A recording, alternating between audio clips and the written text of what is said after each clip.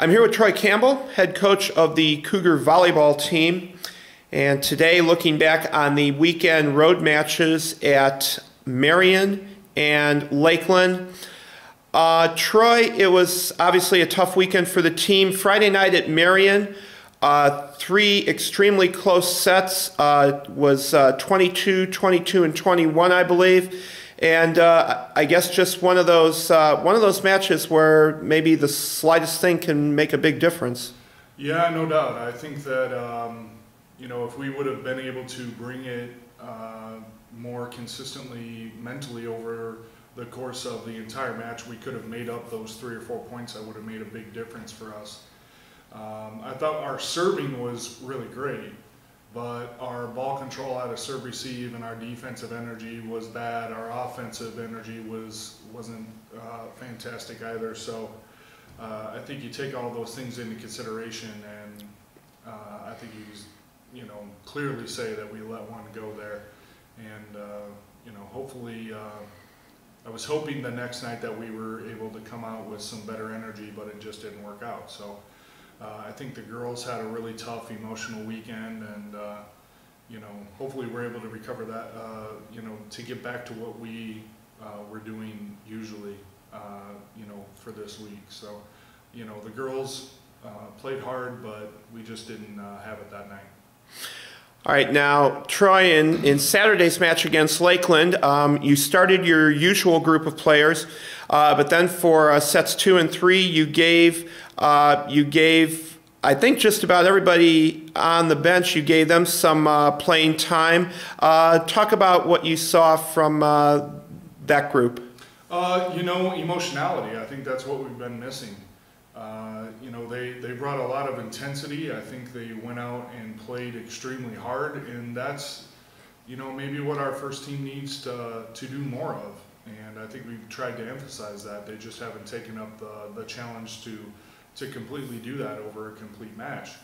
Uh, and that's why we've, in the past, uh, lost some close matches, is because we weren't able to come through uh, mentally or emotionally. So these kids came out and and did a really great job. Uh, you know, Courtney Kugath and and uh, Hannah Johnson did a, a, really fabulous job. Uh, Jasmine Crawley was in there. Uh, Beth Johnson had kind of a breakout match. I mean, I've never seen her. I've coached her since she was in fifth or sixth grade, and I've never seen her red faced yelling at anybody. And, and she was in there just doing great. And it was so great to see everybody up for that. Even the the kids that are usual starters on the bench were in support of all of those kids out there, and it was it was just a really great energy for us. I think at that point, obviously, we knew that we were with our loss on Friday eliminated from the top six, and uh, now is a great opportunity to make sure that everybody has an, the opportunity to get in there and show something for you know going into our off season and and going into spring season,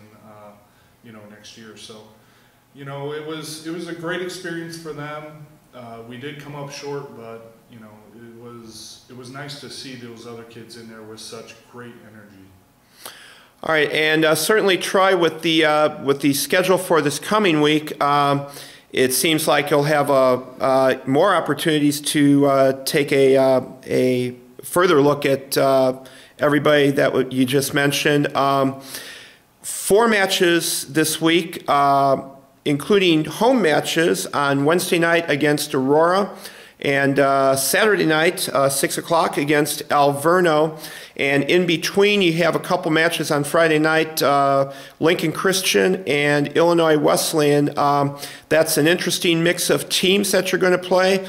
And uh, just, uh, just uh, talk about this, this final week of the season here. You know, it's, you know, I think a lot of winnable matches in those four.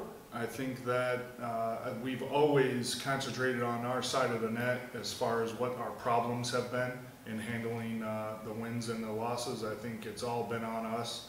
It hasn't particularly been in the matches that we've been competitive with or could win. Uh, we were in control of what occurred and it hasn't always been positive. But I think this week, hopefully, we can turn it around a little bit. You know, the pressure of being in that top six is off. Yeah, that's fine. But now we uh, hopefully can play a little looser with uh, not as much pressure and and uh, you know we're looking forward to having a couple of home games of course against Aurora on Wednesday and then like you said uh, on Saturday against Alverno, and that'll also be our, our senior day for uh, our one senior, Megan O'Hara.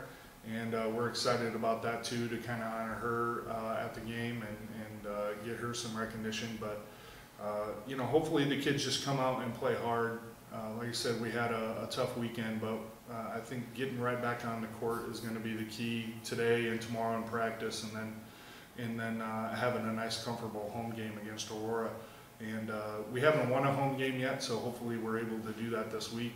Uh, we've had really great success on the road, um, and I think part of it is that pressure to perform in front of your friends and in, in front of uh, the people here.